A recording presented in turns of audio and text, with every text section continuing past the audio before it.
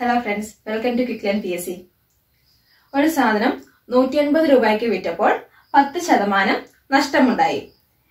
ലാഭം പത്ത് ശതമാനം കിട്ടണമെങ്കിൽ ആ സാധനം എത്ര രൂപയ്ക്ക് വിൽക്കണമായിരുന്നു? ഇത്തരത്തിലുള്ള ക്വസ്റ്റ്യൻസ് പ്രോഫിറ്റ് ആൻഡ് ലോസ് എന്നുള്ള പാർട്ടിൽ നിന്ന് ചോദിക്കാറുണ്ട്. അപ്പൊ ഇതെങ്ങനെയാണ് ചെയ്യേണ്ടതെന്നാണ് നമ്മൾ ഇന്നത്തെ ക്ലാസ്സിലൂടെ പഠിക്കാൻ പോകുന്നത്.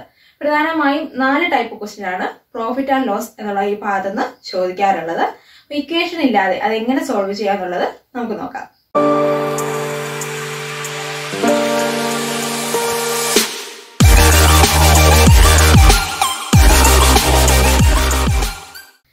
ക്ലാസ്സിലേക്ക് കിടക്കുന്നതിന് മുമ്പായിട്ട് പ്രോഫിറ്റ് ആൻഡ് ലോസ് എന്നുള്ള ഈ ഒരു ഭാഗത്തു നിന്നുള്ള ബേസിക് ആയിട്ടുള്ള ടേംസ് അറിഞ്ഞിരിക്കണം. അത് എന്തൊക്കെയാണെന്നുള്ളത് നോക്കാം നിങ്ങൾ സപ്പോസ് ചെയ്യാൻ നിങ്ങൾക്ക് ഒരു കടയുണ്ട് ഒരു ഷോപ്പ് ഉണ്ട്. അപ്പൊ അതിനകത്തേക്ക് നിങ്ങൾ കുറച്ച് സാധനങ്ങളൊക്കെ വാങ്ങി വെക്കുന്നുമുണ്ട്. അപ്പൊ നിങ്ങൾ കുറച്ച് ബുക്കുകളാണ് ആ ഷോപ്പിലേക്ക് വാങ്ങി വെച്ചിരിക്കുന്നത് എന്ന് വിചാരിക്കുക. അപ്പൊ ആ ബുക്ക് നിങ്ങൾ എത്ര രൂപയ്ക്കാണോ ആ ഷോപ്പിലേക്ക് വാങ്ങി വെച്ചത് അതിനെയാണ് വാങ്ങിയ വില അല്ലെങ്കിൽ കോസ്റ്റ് പ്രൈസ് അല്ലെങ്കിൽ അതിന്റെ യഥാർത്ഥ വില എന്നൊക്കെ പറയുന്നത്. അപ്പൊ ഈ പല പേരുകൾ ചോദിക്കാറുണ്ട് വാങ്ങിയ വില എത്ര? അല്ലെങ്കിൽ അതിന്റെ യഥാർത്ഥ വില എത്ര? എന്നൊക്കെ ചോദിക്കാറുണ്ട്. അപ്പൊ അതൊക്കെ എന്താണ്? നിങ്ങൾ എത്ര രൂപ കൊടുത്താണോ ആ ഷോപ്പിലേക്ക് ആ ഒരു സാധനത്തിനെ വാങ്ങി വെച്ചത് അതിന്റെ വിലയാണ് യഥാർത്ഥ വില. ആ ഒരു വസ്തുവിന്റെ ആദ്യം ഉണ്ടായിരുന്ന ശരിക്കുള്ള വില എത്രയാണോ അതാണ് അതിന്റെ കോസ്റ്റ് പ്രൈസ് അല്ലെങ്കിൽ യഥാർത്ഥ വില അല്ലെങ്കിൽ വാങ്ങിയ വില എന്ന് പറയുന്ന കാര്യം. ഇനി അതിനെ നിങ്ങൾ വിൽക്കുകയാണ് എത്ര രൂപയ്ക്കാണ് നിങ്ങൾ അതിനെ വിറ്റത്? അതിനെയാണ് അതിന്റെ വിറ്റ വില അല്ലെങ്കിൽ സെല്ലിംഗ് പ്രൈസ് എന്ന് പറയുന്നത്. വാങ്ങി വെച്ച അതേ രൂപയ്ക്ക് തന്നെ വിറ്റിട്ടുണ്ടെങ്കിൽ കച്ചവടത്തിൽ ലാഭം ഉണ്ടാവില്ല.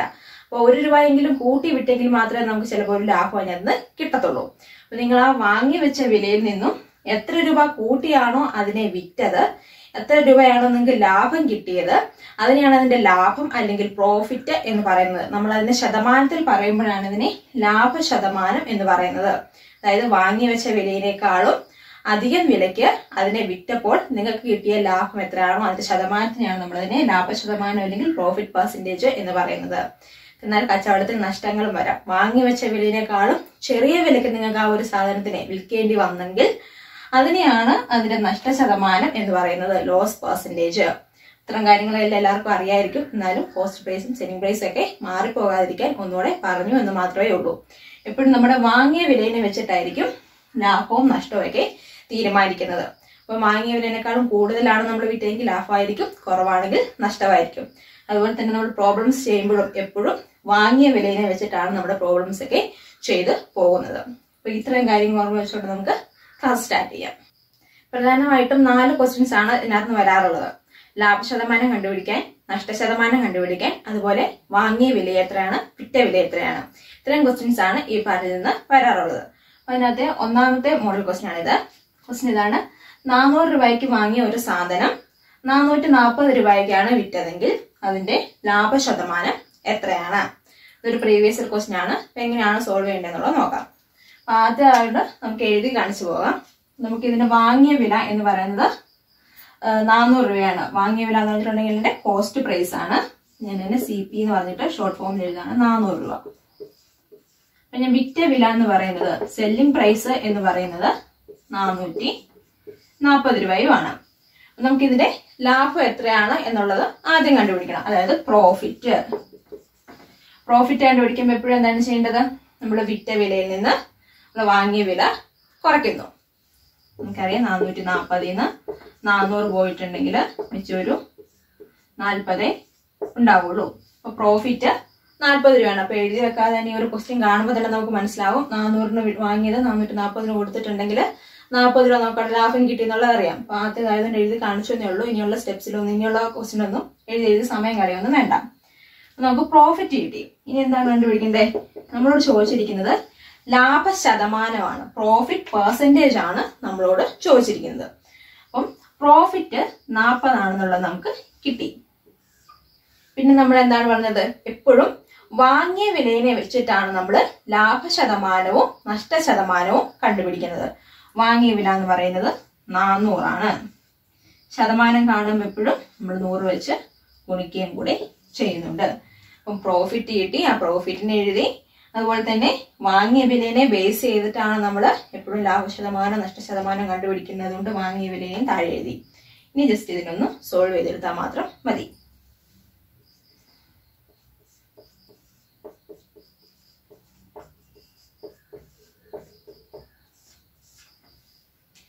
ഫൈനലി ടെൻ പെർസെന്റേജ് എന്ന് പറഞ്ഞിട്ട് ആൻസർ കിട്ടും. ഈ രീതിയിലാണ് ലാഭശതമാനം കണ്ടുപിടിക്കുന്നത്. അടുത്ത ക്വസ്റ്റ്യൻ ഇത് നഷ്ടശതമാനം കണ്ടുപിടിക്കാൻ വേണ്ടിയുള്ള സെക്കൻഡ് ടൈപ്പ് ക്വസ്റ്റ്യൻ ആണ്. ആയിരത്തി അഞ്ഞൂറ് രൂപയ്ക്ക് ഒരു വാച്ച് വാങ്ങിയിട്ടുണ്ട്. ആ വാച്ചിനെ ആയിരത്തി മുന്നൂറ്റി ഇരുപത് രൂപയ്ക്കാണ് വിറ്റത്. അങ്ങനെയാണെങ്കിൽ നഷ്ടശതമാനം എത്ര?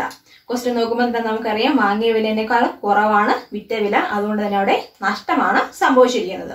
എത്ര രൂപയാണ് നഷ്ടം എന്നുള്ളത് ആദ്യം തന്നെ കണ്ടുപിടിക്കുക.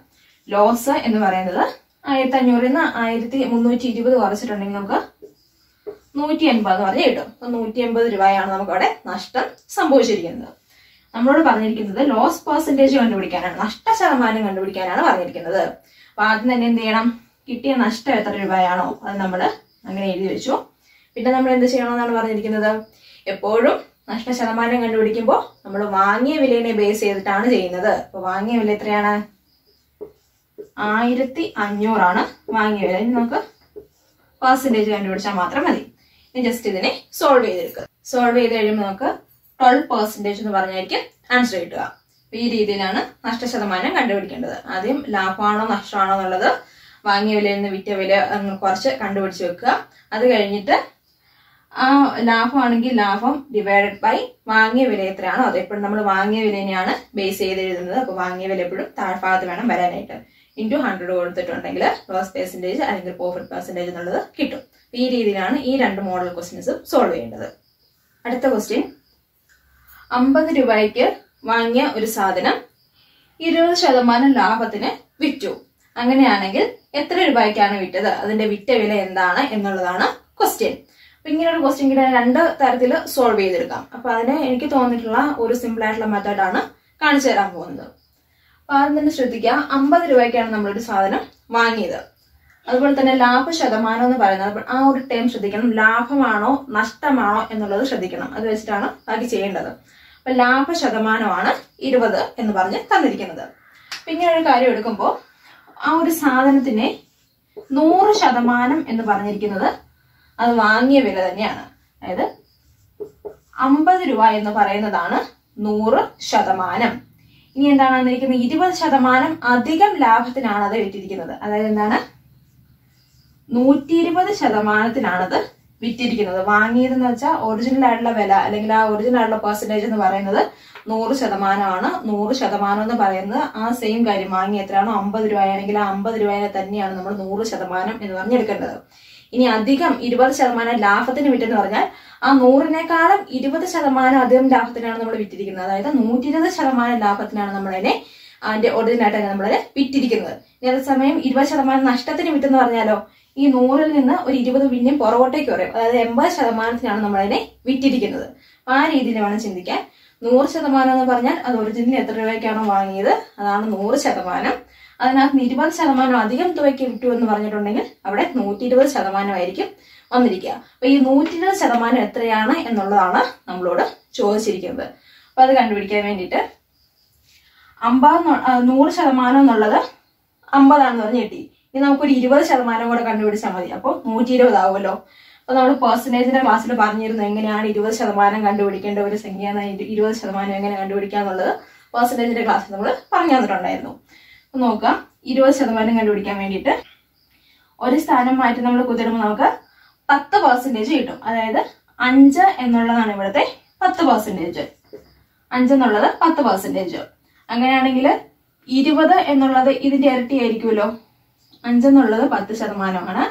ഇങ്ങനെയാണെങ്കിൽ ഇതിനെ രണ്ടു വെച്ച് ഗുണിച്ച് എത്ര കിട്ടും. അതായിരിക്കും ഇരുപത് ശതമാനം. ഇരുപത് ശതമാനം എന്നുള്ളത് പത്താണ്. നൂറും കിട്ടി ഇരുപതും കിട്ടി. ഇത് രണ്ടിനും കൂടെ ആഡ് ചെയ്തിട്ടുണ്ടെങ്കിൽ അറുപത് പറഞ്ഞ് കിട്ടും. അപ്പൊ അറുപത് രൂപയ്ക്കായിരിക്കും വിറ്റത്. ഈ രീതിയിലാണ് വിറ്റ വില അല്ലെങ്കിൽ അതിന്റെ ഒരു പെർസെന്റേജ് എത്രയാന്നുള്ളത് ഡയറക്റ്റ് ആയിട്ട് കണ്ടുപിടിക്കുന്നത്. അപ്പൊ ഇങ്ങനെ കണ്ടുപിടിക്കുന്നതായിരിക്കും അധികം സ്റ്റെപ്പ് ഒന്നും ഇല്ലാതെ കണ്ടുപിടിക്കാനായിട്ട് എളുപ്പം. അപ്പൊ എപ്പോഴും വാങ്ങിയ വില എത്രയാണോ നമുക്ക് തന്നിരിക്കുന്ന എത്രയാണോ അത് ഹൺഡ്രഡ് പെർസെന്റേജിൽ എടുക്കുക. അതിനകത്ത് ലാഭമാണോ നഷ്ടമാണോ വന്നിട്ടുള്ളത് നോക്കിയിട്ട് അത് എത്ര പെർസെന്റേജ് ആണെന്നുള്ളത് എഴുതി വെക്കുക. ഇവിടെ ഇരുപത് പെർസെന്റേജ് ആണ് അധികം കിട്ടിയിട്ടുള്ളത്. അപ്പൊ ഇരുപത് പെർസെന്റേജ് എന്നുള്ളത് എത്രയാണെന്നുള്ളത് നമ്മൾ കാൽക്കുലേറ്റ് ചെയ്തെടുത്താൽ മതി. അപ്പോൾ നമുക്ക് ടോട്ടൽ നൂറ്റി ഇരുപത് ശതമാനം എന്നുള്ളത് കിട്ടും. പെർസെന്റേജിന്റെ ഇങ്ങനെ കാൽക്കുലേറ്റ് പെട്ടെന്ന് എടുക്കാൻ അറിയത്തില്ലാത്തവർ ആ ക്ലാസ് ഒന്ന് കണ്ടു നോക്കുക. ഇതേ കാര്യം തന്നെ നമുക്ക് ഇതിന്റെ നഷ്ട ശതമാനമാണ് തന്നിരിക്കുന്നതെങ്കിൽ എങ്ങനെയാണ് ചെയ്യേണ്ടതെന്നുള്ളതും കൂടെ സെയിം ക്വസ്റ്റ്യൻ വെച്ച് തന്നെ കാണിക്കുകയാണ്. അപ്പം നമ്മൾ വാങ്ങിയ വില അമ്പത് രൂപ തന്നെയാണ്. അപ്പൊ ആ അമ്പതിനെ നമ്മൾ നൂറ് ശതമാനമായിട്ട് തന്നെ എടുത്തിരിക്കുന്നു. അതുപോലെ തന്നെ നമുക്കിവിടെ ലാഭമല്ല കിട്ടിയിരിക്കുന്നത് നഷ്ടമാണ്. നഷ്ട ശതമാനം എന്ന് പറയുന്നത് ഇരുപത് പെർസെന്റേജ് ആണ്. എന്നിട്ട് നമ്മളോട് ചോദിച്ചിരിക്കുകയാണ് അങ്ങനെയാണെങ്കിൽ എത്ര രൂപയ്ക്കാണ് വിറ്റിരിക്കുന്നത്? ഇത് ലോസ് പെർസെന്റേജ് ആണ്. അതുപോലെ ഇത് കോസ്റ്റ് പ്രൈസ് ആണ്. വാങ്ങിയ വിലയുമാണ്. ഇത് നഷ്ട ശതമാനമാണ്. നമ്മളോട് ചോദിച്ചിരിക്കുന്നത് എത്ര രൂപയ്ക്കായിരിക്കും വിറ്റതെന്നാണ്. അപ്പൊ സെയിം മെത്തേഡ് തന്നെ നേരത്തെ ചെയ്ത അതേ മെത്തേഡിൽ തന്നെ ചെയ്യുക.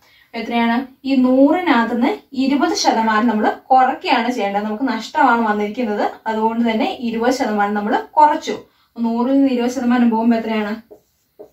എൺപത് ശതമാനമാണ്. എൺപത് ശതമാനം രൂപയ്ക്കാണ് നമ്മൾ ഈ അമ്പത് രൂപയ്ക്ക് വാങ്ങിയ ഒരു കാര്യത്തിനെ ആ രൂപയ്ക്കാണ് വിറ്റിരിക്കുന്നത്. അപ്പൊ അതെങ്ങനെയാണ് നമ്മൾ കാൽക്കുലേറ്റ് ചെയ്യാം ഈ ഒരു നൂറ് ശതമാനത്തിന്റെ ഇരുപത് ശതമാനം എന്ന് പറയാൻ നമ്മൾ പത്താണ് എന്ന് പറഞ്ഞ് കണ്ടുപിടിച്ച് വെച്ചിട്ടുണ്ടായിരുന്നു. പത്ത് രൂപയാണെന്ന് പറഞ്ഞ് കണ്ടുപിടിച്ച് വെച്ചിട്ടുണ്ട് നേരത്തെ തന്നെ. ആദ്യം നമ്മൾ എന്താ ചെയ്തത്? ലാഭം ആണെങ്കിൽ ഈ രണ്ടെണ്ണത്തിനും കൂടെ കൂട്ടുകയാണ് ചെയ്തത്. നമുക്കിവിടെ നഷ്ടം വന്നുകൊണ്ട് എന്താ ചെയ്യേണ്ടത്? ഇരുപത് ശതമാനം നഷ്ടമാണ് വന്നത്. അതുകൊണ്ട് തന്നെ ഈ അമ്പതിൽ നിന്ന് പത്തിനെ കുറച്ചാൽ മതി. നാൽപ്പത് രൂപ എന്ന് പറഞ്ഞ് കിട്ടും. ക്ലിയർ ആയെന്ന് വിചാരിക്കുകയാണ്. നൂറ് ശതമാനം എന്ന് പറയുന്നത് വാങ്ങിയ ആ സെയിം വില തന്നെയാണ്. അതിനെ നമ്മൾ നൂറായിട്ട് തന്നെ എടുക്കുകയാണ്. അതുപോലെ തന്നെ നഷ്ടം എന്ന് പറഞ്ഞിരിക്കുന്നത് ഇരുപത് ശതമാനമാണ്. നൂറിൽ നിന്ന് ഇരുപത് ശതമാനം പോകുമ്പോൾ എൺപത് ശതമാനം എന്ന് പറഞ്ഞു കിട്ടും. അപ്പൊ നമ്മൾ എൺപത് ശതമാനം രൂപയ്ക്കാണ് ആ വാങ്ങിയ ഒരു കാര്യത്തിനെ വിറ്റിരിക്കുന്നത്. ആ വിറ്റ് വിലയാണ് നമ്മളോട് ചോദിച്ചിരിക്കുന്നത്. നൂറ് ശതമാനം എന്ന് പറയുന്നത് അമ്പത് ആണ്. അപ്പോൾ ഈ അമ്പതിന്റെ ഇരുപത് ശതമാനം നമ്മൾ കണ്ടുപിടിക്കുന്നു. അമ്പതിന്റെ ഇരുപത് ശതമാനം എന്ന് പറയുന്നത് പത്ത് രൂപയാണെന്നുള്ളത് കിട്ടിയിട്ടുണ്ട്. അപ്പൊ ആ പത്ത് രൂപയെ നമുക്ക് ഇതിനകത്ത് കുറച്ചിട്ടുണ്ടെങ്കിൽ നേരെ കിട്ടുന്ന എത്രയായിരിക്കും? എൺപത് ശതമാനമായിരിക്കും കിട്ടുന്നത്. അപ്പൊ നേരെ ഡയറക്റ്റ് ആയിട്ട് കുറച്ച് വെച്ചാൽ മാത്രം മതിയാവും.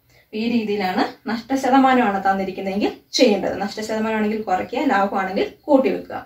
ഈ മെത്തേഡിൽ തന്നെ ചെയ്തു പോയാൽ മതി. അടുത്ത ക്വസ്റ്റ്യൻ നൂറ്റി എൺപത് രൂപയ്ക്ക് ഒരു സാധനം വിറ്റപ്പോൾ പത്ത് ശതമാനം നഷ്ടം വന്നു. പത്ത് ശതമാനം ലാഭം കിട്ടണമെങ്കിൽ ആ സാധനം എത്ര രൂപയ്ക്ക് വിൽക്കണം? നമ്മുടെ വിറ്റ വില അല്ലെങ്കിൽ സെല്ലിംഗ് പ്രൈസ് എന്നുള്ളത് നൂറ്റി എൺപത് കിട്ടിയിട്ടുണ്ട്.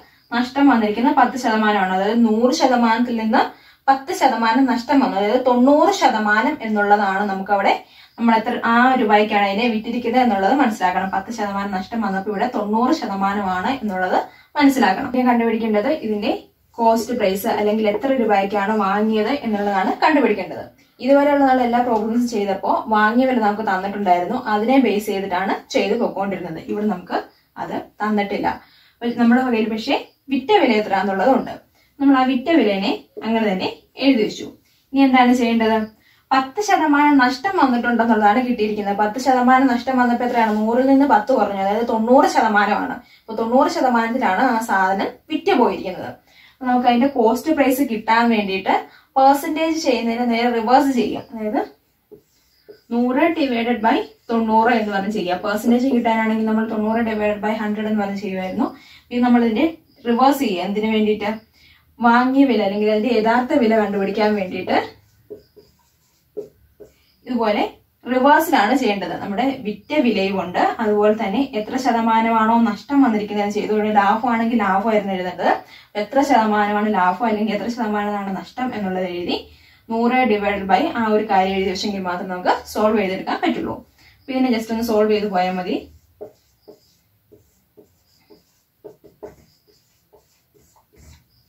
സോൾവ് ചെയ്ത് കഴിയുമ്പോൾ ഇരുന്നൂറ് എന്ന് പറഞ്ഞു കിട്ടും. അതായത് നമ്മൾ ഇരുന്നൂറ് രൂപയ്ക്കാണ് ആ കാര്യം വാങ്ങിയിരിക്കുന്നത്. എന്നിട്ടാണ് പത്ത് ശതമാനം നഷ്ടത്തിൽ അതിനെ വിറ്റിരിക്കുന്നത്. ഇനി നമ്മളോട് എന്താണ് പറഞ്ഞിരിക്കുന്നത്? പത്ത് ശതമാനം ലാഭം കിട്ടണമെങ്കിൽ ആ സാധനം എത്ര രൂപയ്ക്ക് വിൽക്കണം എന്നാണ് ചോദിച്ചിരിക്കുന്നത്. അപ്പൊ പത്ത് ശതമാനം അധികം ലാഭം കിട്ടണമെങ്കിലോ? നൂറ് പ്ലസ് പത്തെന്ന് വേണം. അതായത് നൂറ്റിപ്പത്ത് ശതമാനത്തിന് ആ ഒരു കാര്യത്തിനെ വിറ്റെങ്കിലേ പത്ത് ശതമാനം അധികം ലാഭം കിട്ടത്തുള്ളൂ. കോസ്റ്റ് പ്രൈസ് വാങ്ങിയ വില നമുക്ക് കിട്ടിയിട്ടുണ്ട്. ഇന്ന് നമ്മളോട് എന്താ പറഞ്ഞിരിക്കുന്നത്? വിറ്റ വില അല്ലെങ്കിൽ സെല്ലിംഗ് പ്രൈസ് എത്രയാണെന്ന് കണ്ടുപിടിക്കാനാണ് പറഞ്ഞിരിക്കുന്നത്. വിറ്റ വില വിൽക്കുന്ന എത്ര രൂപയ്ക്ക് വിൽക്കണം എന്നുള്ളതാണ് കണ്ടുപിടിക്കാൻ പറഞ്ഞിരിക്കുന്നത്. സെല്ലിംഗ് പ്രൈസ് കണ്ടുപിടിക്കാൻ വേണ്ടി എന്താ ചെയ്യേണ്ടത്? നൂറ്റിപ്പത്ത് ശതമാനം കണ്ടുപിടിക്കണം അല്ലേ? അതിൽ നൂറ് ശതമാനം എന്ന് പറഞ്ഞിരിക്കുന്നത് വാങ്ങിയ യഥാർത്ഥ വില തന്നെയാണ്. ഇരുന്നൂറ് രൂപ തന്നെയാണ്. നൂറ്റി പത്ത് കിട്ടാൻ വേണ്ടി എന്തും കൂടെ വേണം? ഒരു പത്ത് ശതമാനം കൂടെ കണ്ടുപിടിച്ചാൽ മതി അല്ലേ? അപ്പൊ ഈ ഇരുന്നൂറിന്റെ പത്ത് ശതമാനം എത്രയാണെന്ന് നോക്കുക ഒരു സ്ഥാനം മാറ്റി കൊത്തിട്ടിട്ടുണ്ടെങ്കിൽ പത്ത് ശതമാനം കിട്ടുമെന്ന് നമുക്കറിയാം. അങ്ങനെ കൊത്തിട്ടുമ്പോഴത്തേക്കും ഇരുപത് രൂപ എന്ന് പറഞ്ഞ് കിട്ടും. ഇനി ഇതിന് രണ്ടിനും കൂടെ ആഡ് ചെയ്താൽ പോരാ? നൂറ്റി പത്ത് ശതമാനം കിട്ടുമല്ലോ. ഇരുന്നൂറ്റി ഇരുപത് എന്ന് പറഞ്ഞ് കിട്ടും. ഈ രീതിയിൽ കണ്ടുപിടിച്ചാൽ മതി. ഇതിപ്പോൾ നൂറ്റി പത്ത് ശതമാനം അതായത് പത്ത് ശതമാനം അധികം ലാഭത്തിൽ വെക്കുമ്പോഴത്തേക്കും ഇരുന്നൂറ്റി ഇരുപത് രൂപയ്ക്ക് വിറ്റെങ്കിൽ മാത്രമേ പത്ത് ശതമാനം ലാഭം കിട്ടുള്ളൂ അതായത് നൂറ്റി പത്ത് ശതമാനത്തിൽ നമുക്ക് തന്നെ വിൽക്കാനായിട്ട് സാധിക്കുകയുള്ളൂ. ഈ രീതിയിലാണ് ഈ ക്വസ്റ്റ്യൻ സോൾവ് ചെയ്തെടുക്കേണ്ടത്. അപ്പോൾ വാങ്ങിയ വില കിട്ടിയിട്ടില്ലെന്നുണ്ടെങ്കിൽ വാങ്ങിയ വില ആദ്യം തന്നെ കണ്ടുപിടിച്ച് വെക്കണം. എങ്കിൽ മാത്രമല്ല നമുക്ക് എത്ര രൂപയ്ക്ക് വിൽക്കണം എന്നുള്ളത് കണ്ടുപിടിക്കാൻ പറ്റുള്ളൂ. അതുകൊണ്ടാണ് ഈ ഒരു സ്റ്റെപ്പും കൂടെ കൂടെ അധികമായിട്ട് വന്നത്.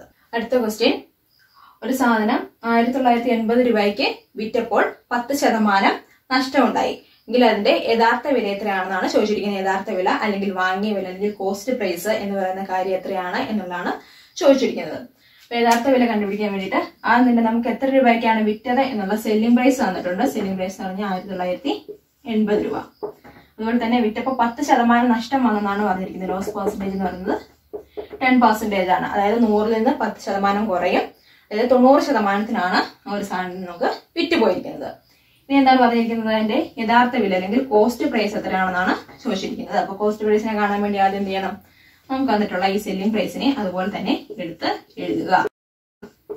പിന്നെ എന്താണ് ചെയ്യാൻ പറഞ്ഞിരിക്കുന്നത്? യഥാർത്ഥ വിലയാണ് കണ്ടുപിടിക്കുന്നെങ്കിൽ എപ്പോഴും പെർസെന്റേജിന്റെ റിവേഴ്സ് ആയിട്ട് വേണം ചെയ്യാനായിട്ട്. അതായത് നഷ്ടശതമാനം വന്നിരിക്കുന്നത് പത്ത് ശതമാനമാണ്. അതായത് നൂറിൽ നിന്ന് പത്ത് കുറയും.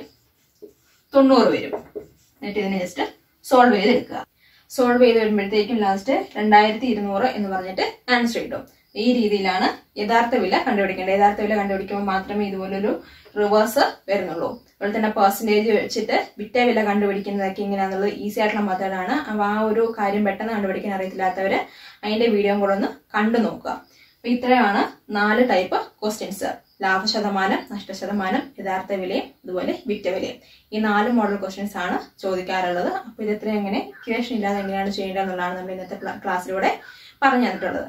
നിങ്ങൾ പ്രീവിയസ് ഇയർ ക്വസ്റ്റിനും കൂടെ ഈ കൂട്ടത്തിൽ വെച്ച് തന്നെ പ്രാക്ടീസ് ചെയ്ത് നോക്കുക. ഇന്നത്തെ ക്ലാസ് ഇഷ്ടമായിട്ടുണ്ടെങ്കിൽ ലൈക്ക് ചെയ്യുക കമന്റ് ചെയ്യുക നിങ്ങളുടെ അഭിപ്രായങ്ങളും ഡൗട്ട്സും എല്ലാം കമന്റ് ആയിട്ട് അറിയിക്കുക. നമ്മുടെ ചാനൽ ആദ്യമായിട്ട് കാണുന്നുണ്ടെങ്കിൽ സബ്സ്ക്രൈബ് കൂടെ ചെയ്യുക.